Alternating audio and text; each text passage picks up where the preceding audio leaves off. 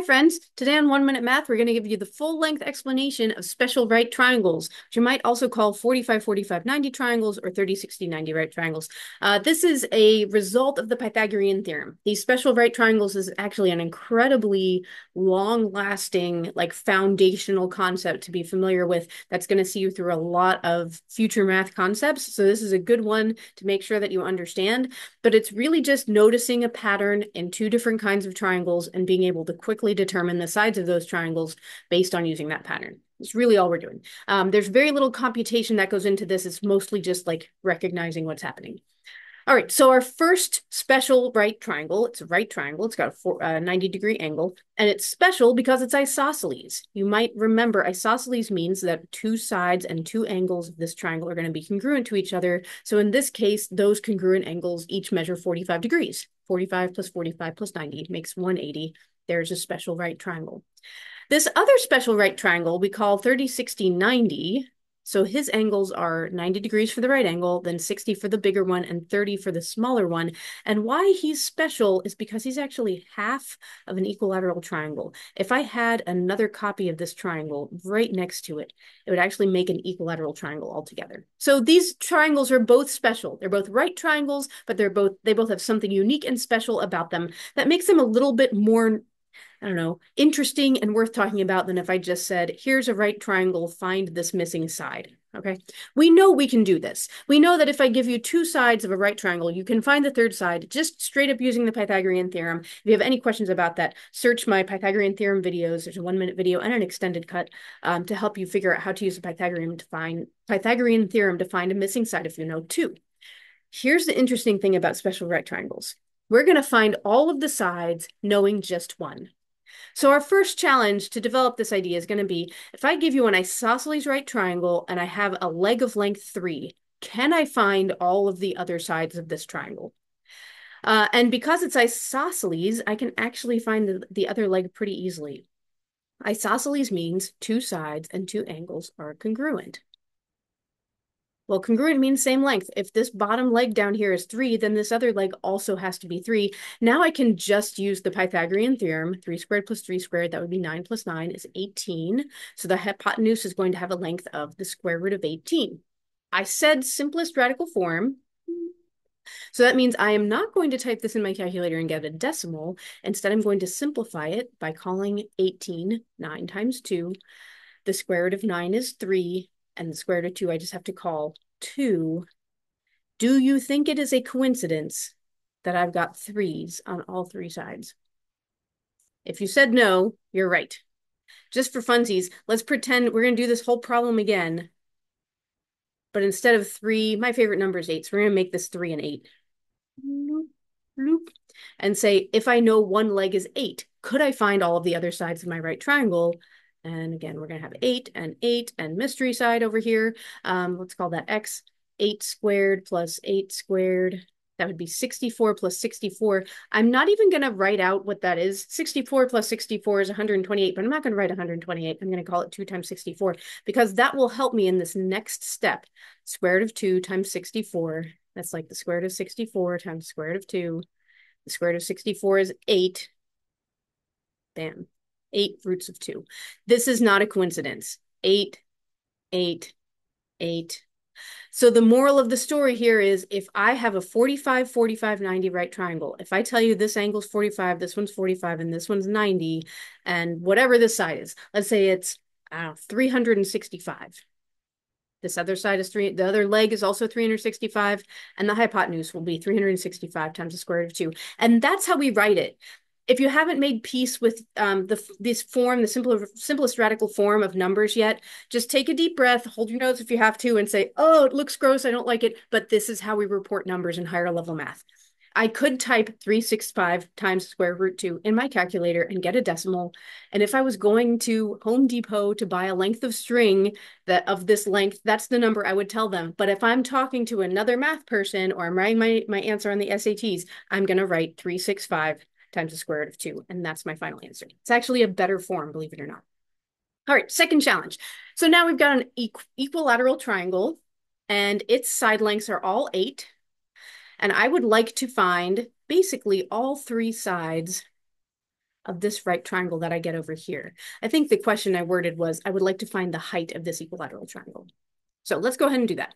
It's going to make a nice 90 degree angle there. This angle is 60 because it's equilateral, and this angle is 30 because the whole angle was 60 and it's cut in half. Uh, because this triangle is equilateral, this whole side down here is 8, so it is not a stretch to conclude that this much has to be 4. That would be the short leg of my right triangle. And now I've got 4 squared plus x squared equals 8 squared. I have a Pythagorean theorem problem. 4 squared is 16. 8 squared is 64. Do a little subtractorino here. x squared equals, it's going to be 48.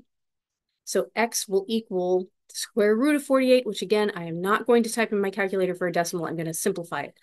48 is 16 times 3. The square root of 16 is 4. 4 roots of 3, or 4 times the square root of 3. That's what I'm going to report as my height. And do you notice this non-coincidence? 4, 4. And there's a clear relationship between 4 and 8. 4 is half of 8, 8 is twice 4. If we did the same thing, let's start with another number. Let's start with 10.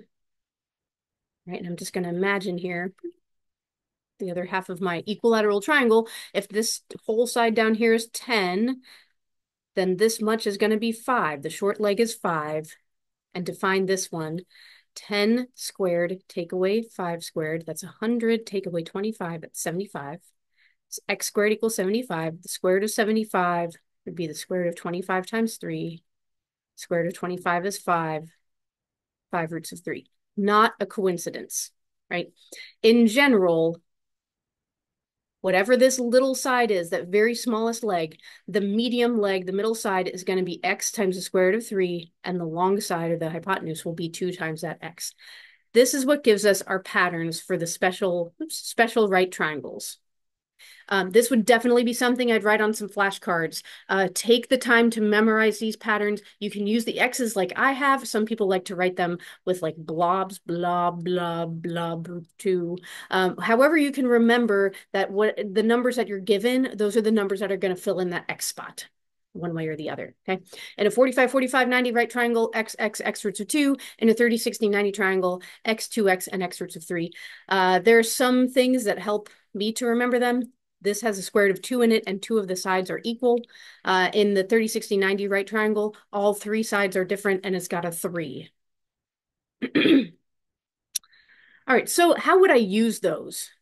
Here are two examples. This would be the kind of thing that you might see on the SATs or a quiz in your geometry class um, or what have you, okay? Uh, I'm given five. I have a 30 over here, so I know this is a 30, 60, 90 right triangle. I'm just going to take my pattern and kind of rotate it or orient it so that the triangle looks the same way. It's in the same orientation as I see on the page here. Five is my short leg, which means the long side, the hypotenuse will be two times five or 10. And this side over here, this longer leg, I leave that number alone, five, but I attach to it a square root of three. That's my final answer. Over here in isosceles right triangle land, my pattern is x, x, x roots of two, so three, three, three roots of two, just like that. All we're doing is recognizing patterns and writing the numbers in the appropriate places. Uh, let's do a couple more examples. So in this one, I'm actually given the longest leg, or the hypotenuse, the longest side. So I kind of have to reverse engineer a little bit. If 12 is 2x, then what was x?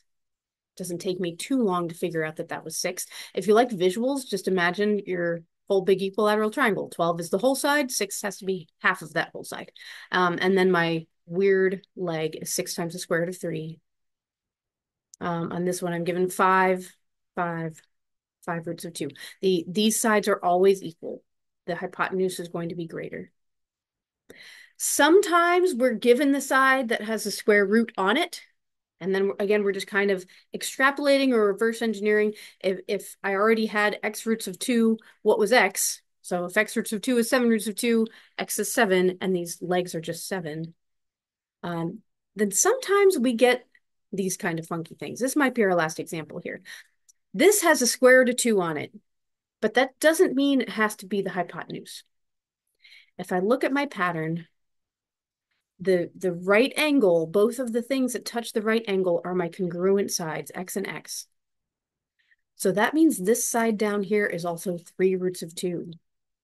So my hypotenuse will be 3 times the square root of 2 times the square root of 2. You might be able to get away with that as a final answer in your class, but I, I bet we can make this a little bit simpler. The square root of 2 times the square root of 2 would be the square root of 4. That's just 2.